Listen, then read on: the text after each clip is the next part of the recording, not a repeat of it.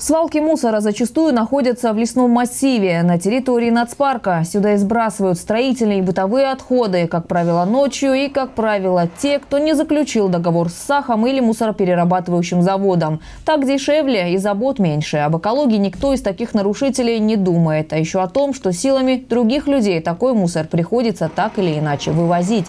Потому что в городе-курорте подобных свалок быть не должно. Все факты несанкционированных отвалов мусора зафиксированы есть заявление в полицию.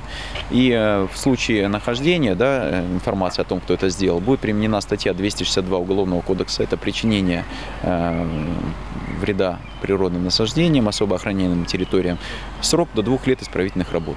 Я бы хотел, конечно, всех предупредить, что на это сейчас обращается абсолютное внимание, устанавливаются камеры видеонаблюдения, предупреждающие знаки. И я думаю, показательные дела такие обязательно в ближайшее время будут. Не хотелось бы, чтобы кто-то попал на такое показательное дело. Если у вас есть информация о таких стихийных свалках, администрация города просит направлять ее вместе с фотографией на электронный адрес landsobaka.sochiadm.ru. Это почтовый ящик городского штаба по благоустройству. Там и решат, какие меры применить к любителям уборки за чужой счет.